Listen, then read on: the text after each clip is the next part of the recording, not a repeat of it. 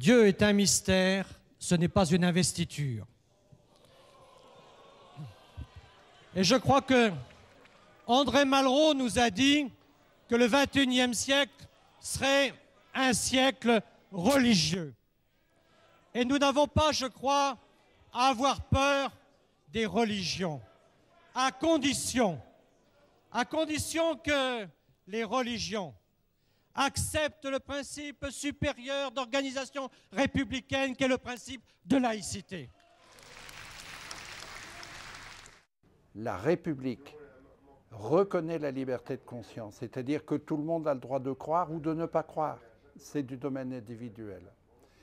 Elle garantit l'exercice du culte, c'est-à-dire que tous les cultes de quelque religion que ce soit ont le droit de s'exercer publiquement. Mais par ailleurs, la République ne reconnaît aucun culte particulièrement et elle ne salarie aucun culte.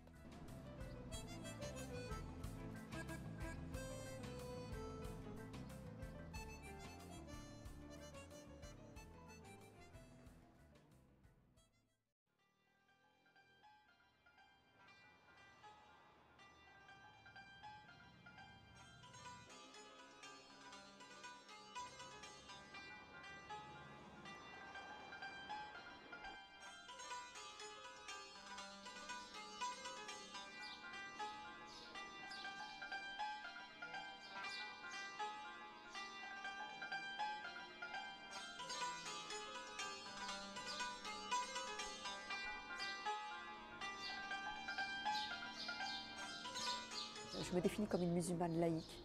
C'est-à-dire qu'il est nécessaire de séparer le politique du religieux. Et à l'école, euh, donc euh, il y a eu des glissements.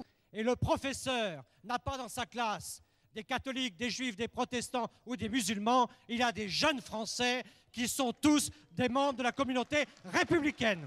Mais j'ai dit, ce n'est pas un problème de laïcité française. Parce que si la laïcité française, on l'appliquait, ce serait plutôt une laïcité assez souple, finalement puisque c'est la neutralité de l'État. L'État n'a pas de confession, n'a pas de religion. Il impose par exemple que les enseignants ne doivent pas montrer, ou que les agents du service public ne doivent pas montrer leur religion. Là c'est clair. Mais après, je dirais que la laïcité française, elle est souple. C'est-à-dire que si on s'en réfère à la loi euh, euh, Ferry, la laïcité s'applique à quoi?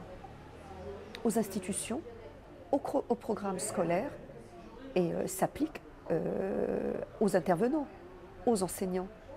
Elle ne s'applique pas aux usagers. Le débat a ressurgi d'une manière spectaculaire quand sont apparues euh, les premières affaires de, voile à l'école, de, ce qu'on appelle le foulard islamique.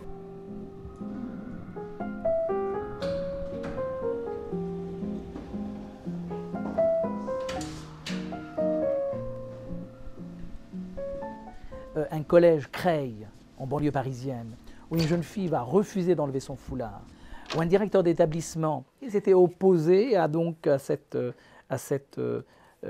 cette jeune fille qui avait porté le foulard musulman ou le foulard islamique, je ne sais plus comment on peut, on peut le qualifier.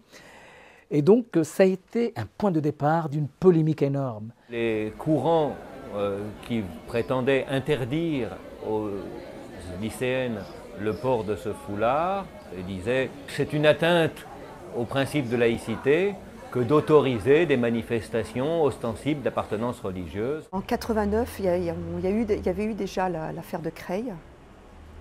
Et euh, donc à, cette époque, euh, je passais le, CAPES et l'agrégation de, philosophie à la Sorbonne. Et euh, donc j'ai été exclue par un professeur qui était professeur en philosophie politique alors que l'année d'avant, je n'avais pas de foulard. Il y, avait, vraiment, on avait établi une relation très amicale. À cette époque, il n'y avait, rien, si ce n'est le décret Bayrou, mais qui s'appliquait absolument pas aux universités.